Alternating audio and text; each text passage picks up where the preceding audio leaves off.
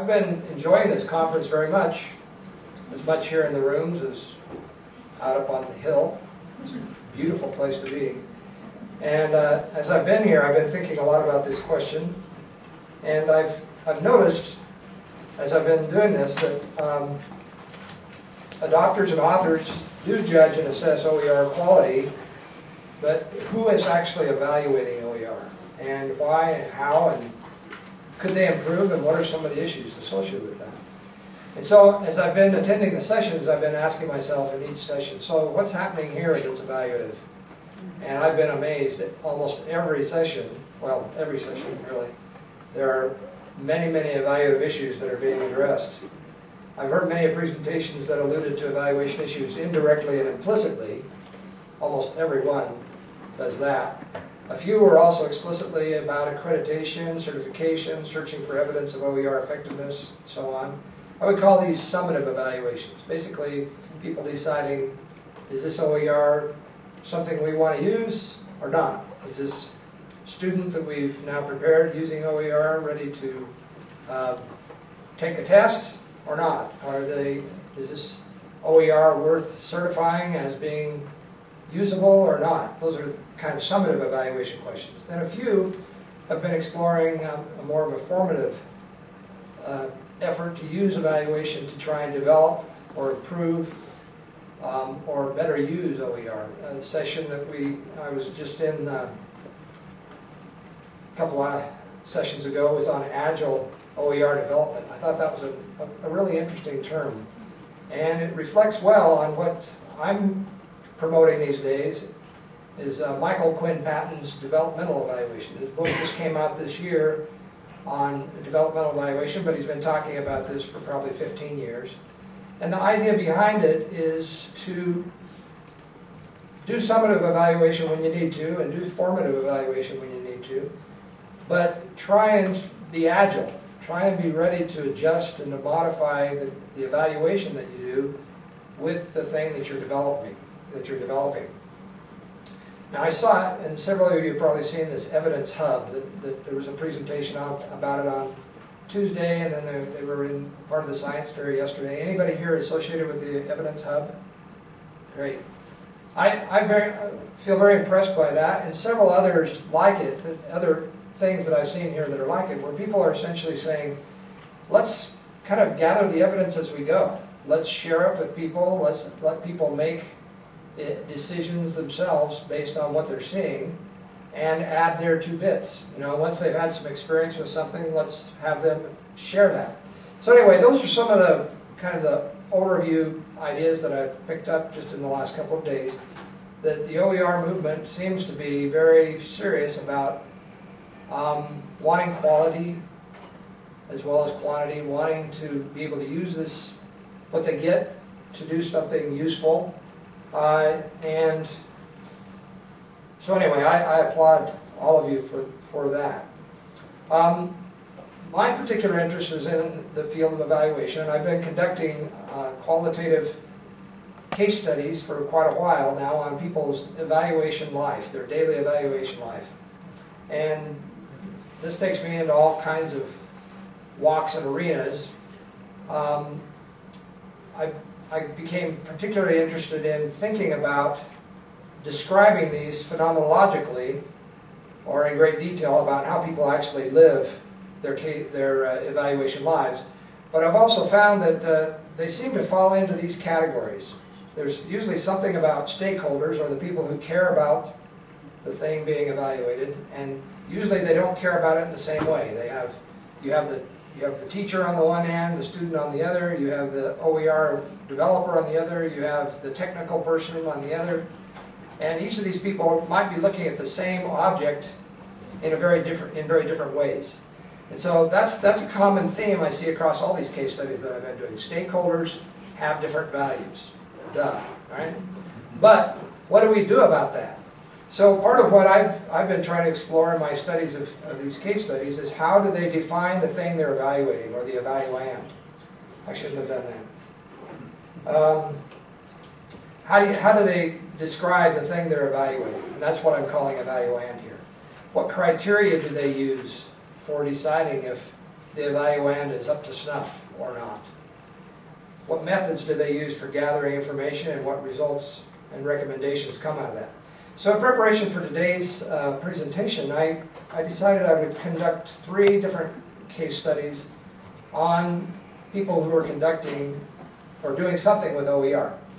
And I, I have these three, a a novice was just getting into trying to put together a, an online book that they wanted to make available for OER, an OER innovator who wanted to share ideas about using OER with other people and, and get them involved, and then a school with staff who adapt and generate OER to help their own students and to offer OER to others. So this is a, you know, we could spend lots of time, and how many more minutes do I have? Yeah, I'm just wondering if I have 15 or 20 left. I'll give you seconds. Okay, so anyway, this, this uh, kind of summarizes here what, what the stakeholder issues, the evaluand issues, the criteria and questions, the methods, and the results.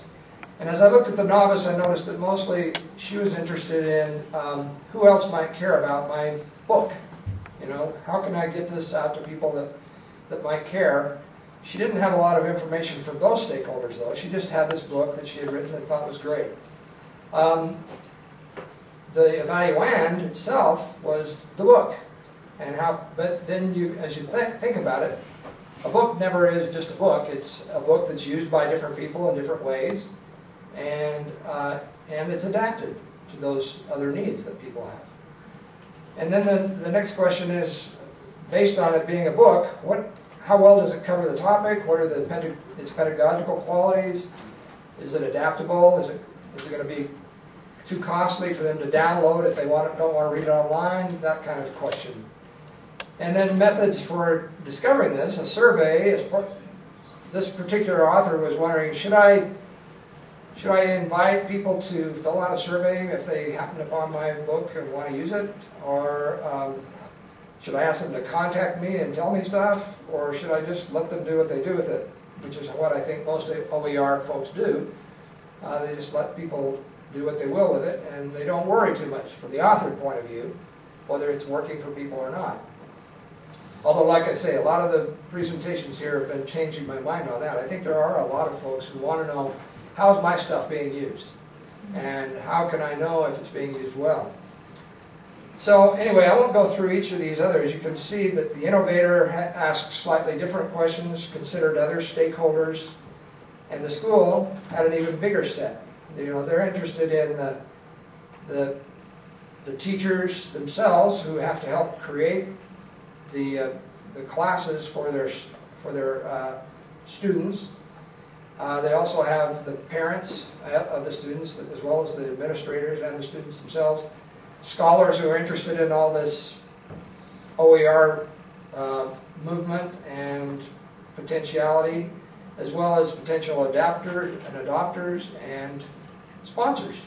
Well, as you, can, as you look at that, just looking at the stakeholder line there for the school, you've got a complex set of, of people who are going to have lots of different values, contrasting values, and I'm, speak, I'm speaking here to the choir. You all know this. And the, the main point I want to make is, I think, as we look at this, that developmental evaluation is a good solution.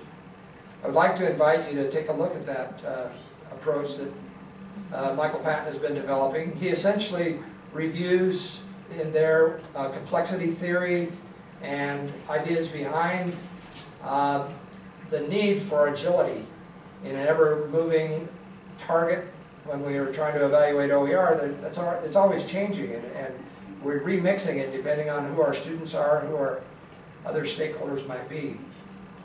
So I would invite you to take a look at that. Um, as you look over this, this list, I'm hoping that you're thinking about your own context, your own situation. And what I'd like to do with the, the remaining time is I'd like to invite you to be um, sharing with us who are the stakeholders that you address? Who are, what are some of the stakeholder issues that they bring? And what are some of the, their definitions of the evaluands that you care about? And what are some of the criteria and questions they're asking about those OER evaluands?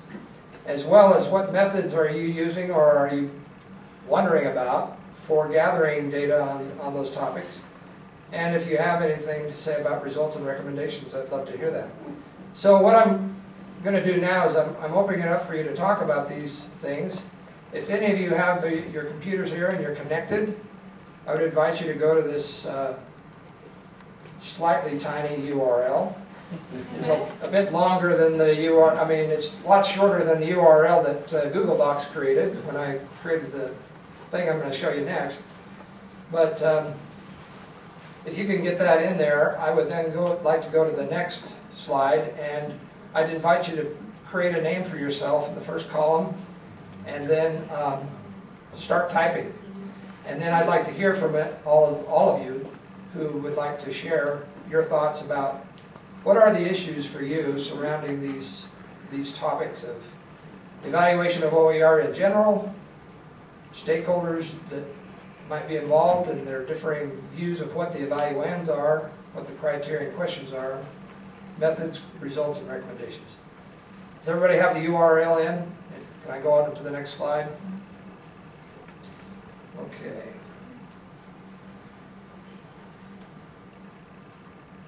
Hmm.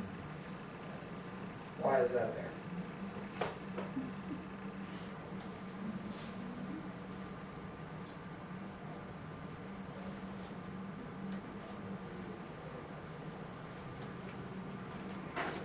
Help me, somebody. Showing everything else that I didn't want you to see. Um, Where's my little, Slideshow view? well, what I want is this tiny URL, so maybe I'll have to open it again. I thought I had it open and ready to go.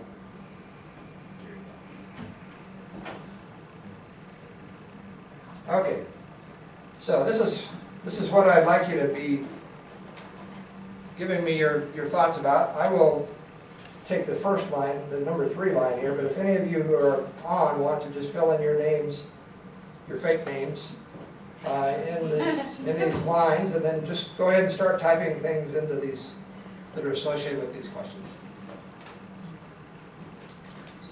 Any of you who would like to make a comment, now is the time to do it. Please. You're asking, uh, under evaluation of OER in general, uh, you're, you're, you're assuming that there's an evaluation already occurring? Okay. Is that, is that what you're, is that what you're, um, No, not necessarily. I mean, that's a good question to ask. Is there evaluation already occurring?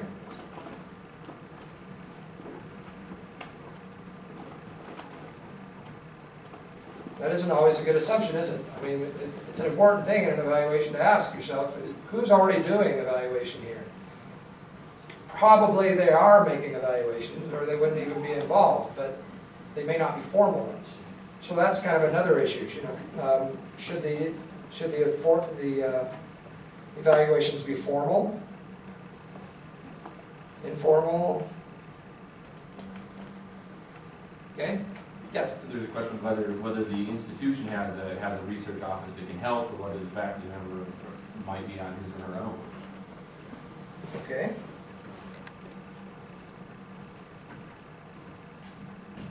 Yeah, that's, that's a, that's a very good question.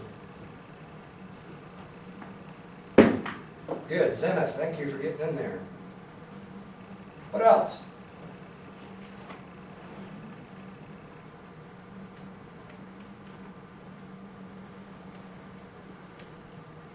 Think about your own situation. Who are the stakeholders that matter to you in the, in the work you're doing? Students, Students, for sure, okay? And do students usually speak up for themselves? Or are they usually nice and quiet like you are today? if, if the institution bothers to ask, they speak up. Okay?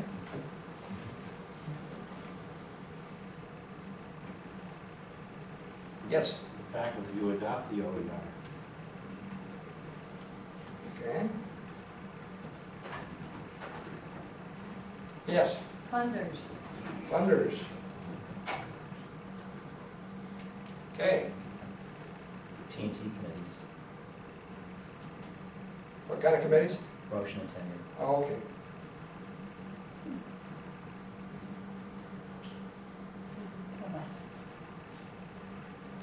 As you just look at that list, you can see right away that they don't all agree with each other, right? They're gonna have really different kinds of, issues. What, how would, uh, how would those people see their evaluands differently?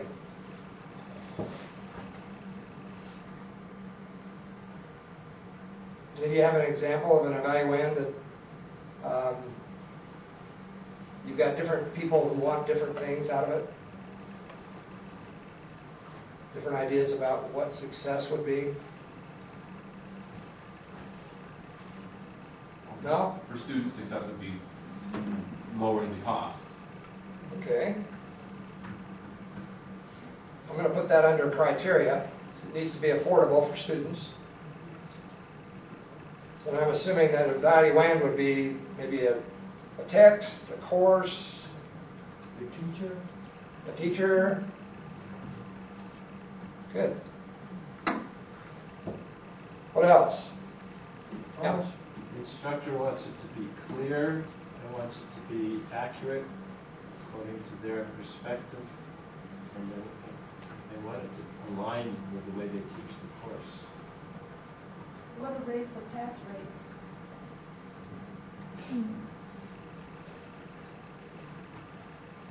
Good. Yeah. Your, your funders are looking on the impact of society at large or even, uh, more specific, maybe even, uh, the at-risk society and so forth. Okay.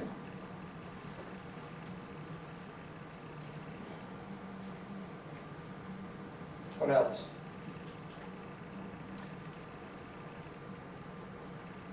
Increased engagement on the student side, perceived better use of their time.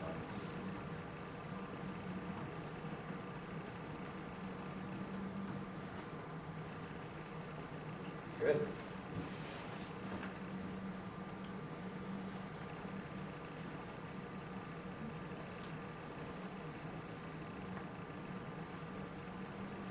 So what are some of the methods that you might think about using for, for doing these kinds of, answering these kinds of questions? But also, let me just go back here, other evaluands, I was thinking about these um, repositories. Seems like that was a big thing I heard about a lot last few days, repositories of OER. How do you decide if those are any good? Know, uh, one group I saw that they had, uh, they had panels of teachers who were getting together and saying, in order to be in our repository, we, we, we want to rate them against how many teachers feel like these um, OER would actually do what they want to do in their classes. Uh, So, let me just skip over here. We could have teachers creating standards and comparing through web crawlers. I'll just say that because there's so many different ways you could go through it. but That's kind of the idea that I got from the presentation diary. Other evaluands or methods for evaluating these? Student satisfaction surveys, independent peer review. Okay.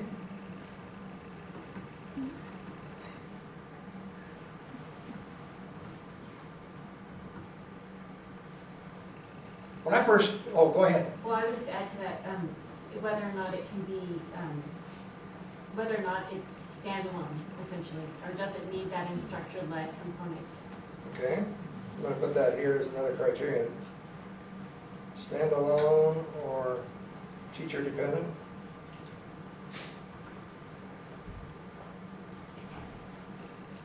Yeah, for students, it's a frequent feedback on their performance.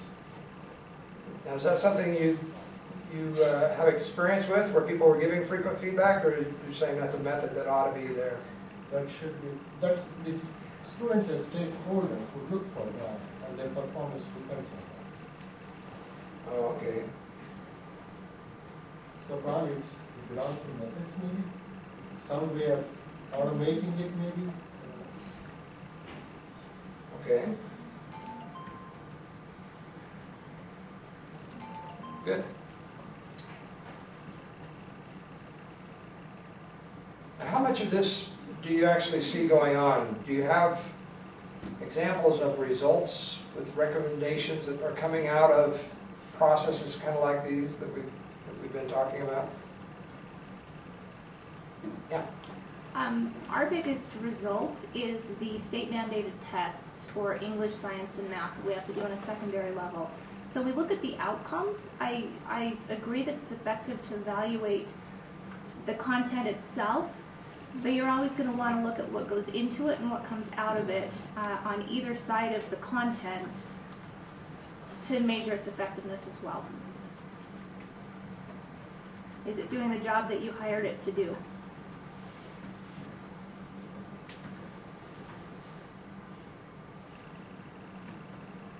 good.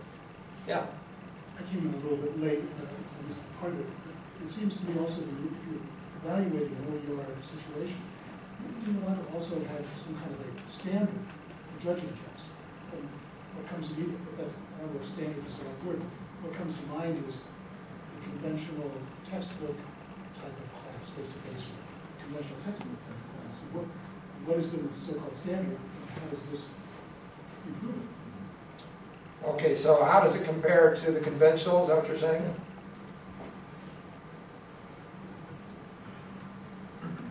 Okay, yeah. Oh, five more, okay. What else?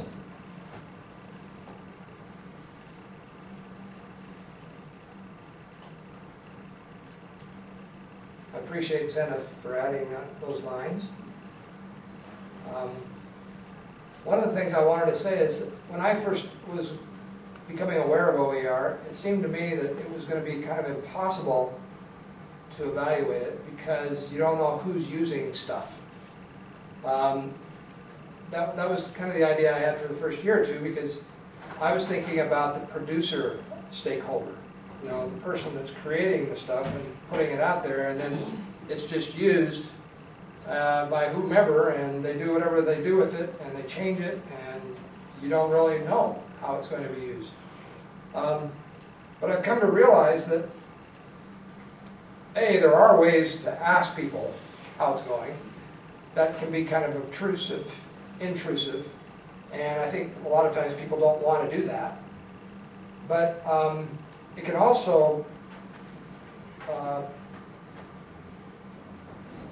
you can also look for kind of feeds that come to you from, from blogs, from um, seeing things created and just reading about them in the news and say, oh, that's related to the thing I created. I can see that.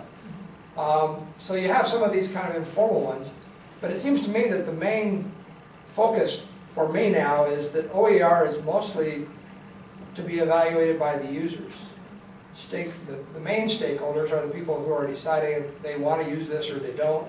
They want to adapt it or adopt it and, and modify it in various ways. Uh, and to me, that, that's, something, that's something to celebrate in a lot of ways because it seems to me that the whole idea of evaluation that historically has been the, the owner is in control of, of the evaluation and they decide whether the thing's working or not and they tell everybody else whether it's working or not. And the, uh, the receiver or the, the student, like I was saying at the beginning, the weak link often is the student, they don't really get their voice heard that much. Um, when, when they're in, uh, able to make their own evaluation judgments and do what they want to with the OER, then they, their, their voice is more likely to be heard. There's been a big movement in the field of evaluation uh, that some people within the field of critique called empowerment evaluation. David Fetterman out of Stanford is the author of that, and a lot of people have said, well, that's not really evaluation, Fetterman, because what he's been trying to do is go around and get people to be better evaluators of their own stuff, their own learning, their own um, programs, rather than waiting for a federal evaluator or somebody externally to come in and certify that, yes, this is a good thing or not. And so it, the, traditionally, the idea has been, well, unless you're objective and can stand outside the, the evaluand to a certain degree, you're not going to be able to um, make a good evaluation. Well, that debate's been going on now for 20 years. Uh, Fetterman's ideas are still around, and I think they've been adopted in a, in a pretty powerful way, again, by Patton's developmental evaluation. So I would highly recommend that you take a look at that. If any of you have a chance, I- I'd love you to go ahead and add to this um, matrix that, that that Kane and Zenith have been uh, helping me expand. Uh, I'll leave this Google Doc out there for a while. And and in case you didn't get this URL, I'll put this back up just so you can write that down. And, and if you have a chance, go ahead and, and help me fill that in. Thank you very much.